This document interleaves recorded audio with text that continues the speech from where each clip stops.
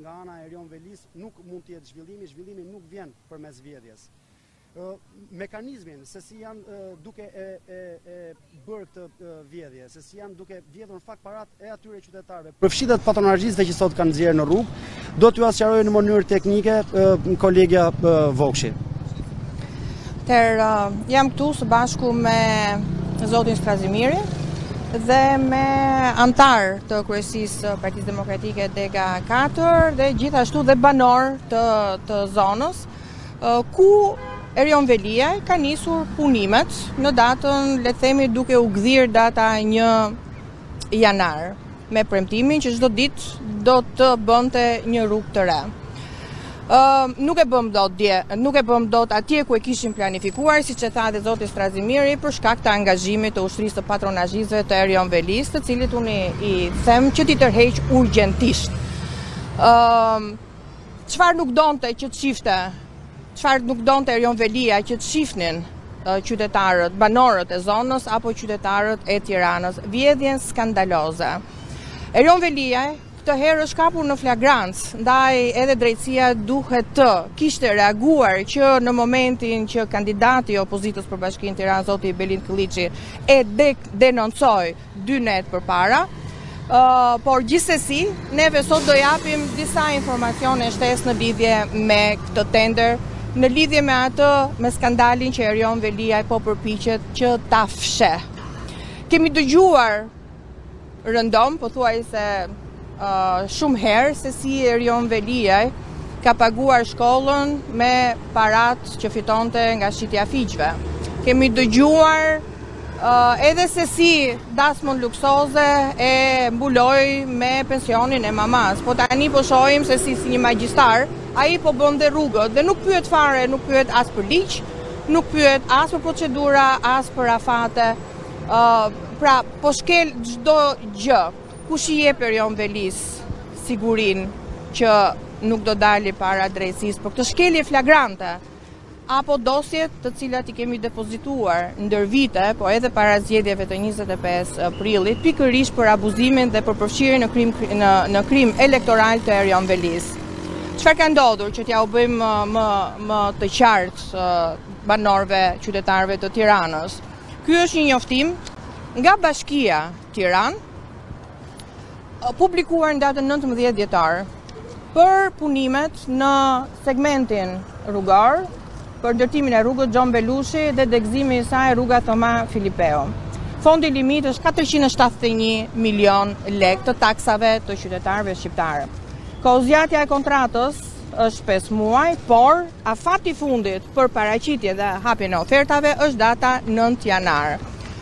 Më tej, shpallja e fituesit është data 22 janar. Sot, që ta bëjmë edhe më konkrete, sot është data 8 janar, në ndërkohë që punimet kanë filluar 9 ditë para afatit të dorëzimit të dokumentave dhe 22 ditë para afatit të shpalljes së fituesit të kontratës. Pse ky nxitim i Erion Veliajt? Pse shkelet ligji? Pse shkelen procedurat? Pse shkelen afatet? Sigurisht logjika të çon Që nuk është thjesht një mashtrim i Erion Veliajt, si ato që bën ai çdo ditë, por është një vjedhje, është korrupsion, është abuzim me taksat e qytetarëve shqiptarë dhe banorëve të Tiranës. Por Gjithashtu logjika të çon në faktin që meqenëse ai po mundohet ta mbulojë edhe me me ushtrinë e patronazhistëve, ë të çon në logjikën që aty mashtrimi është është më tej se mashtrimi është mund të jetë një kompani e paracaktuar, siç ndodh rëndom në çdo tender të bashkisë, 471 mijë milion 471 milion lek që çojnë, që shkojnë në xhepat e një kompanie që është paracaktuar më përpara nga Erion Veliaj, një klient i tij.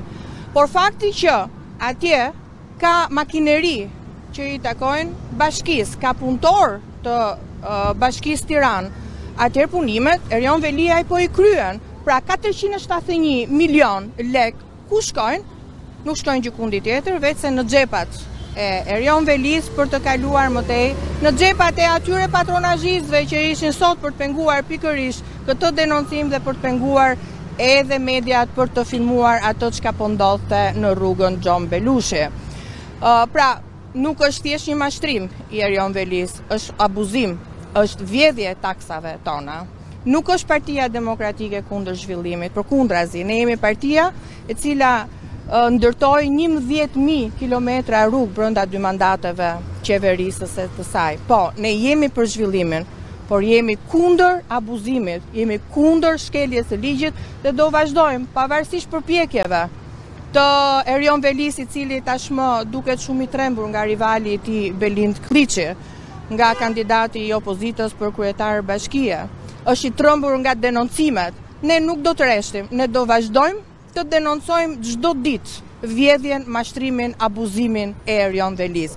Ashtu sikurse e përmenda, Spaku duhet kishte reaguar që në momentin që Belind Këlliçi e denoncoi dy netë më përpara. Spaku duhet kishte shkuar të kishte sekuestruar gjithë dokumentacionin bashkë me makineri dhe të kishte stopuar të kishte stopuar punimet, pse? Sepse aty po kryhet një krim elektoral.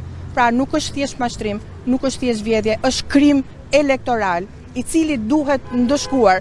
Partia Demokratike do ta zyrtarizojë denoncimin Nesër do të depozitojmë një tjetër kallëzim penal për Erion Velinë në SPAK. Pavarësisht se me dosjet e tjera, me kallëzimet e tjera mund të ndodhë pra e njëjta, e njëjti fenomen, i ngjashëm me to, një dosje tjetër, një kallëzim tjetër penal për Erion Velinë që myket në sirtarët e Spakut, por ne jemi të vendosur që t'i dalim për zot qytetarëve të Tiranës.